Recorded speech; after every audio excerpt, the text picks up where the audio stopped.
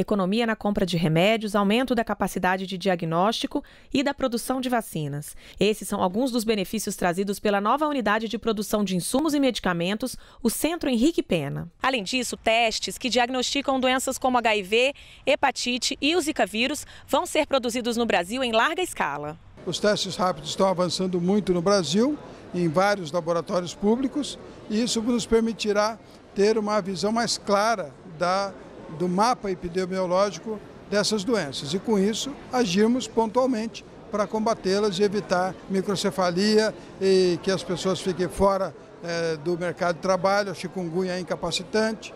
E a dengue, que já, no caso da dengue hemorrágica, é, mata muitas pessoas. A Fiocruz tem o maior laboratório de medicamentos do país, com produção de um bilhão de unidades de 66 diferentes remédios. São realizadas na Fundação por ano 80 mil consultas e 130 mil procedimentos. Foram investidos 478 milhões de reais na construção desse novo centro.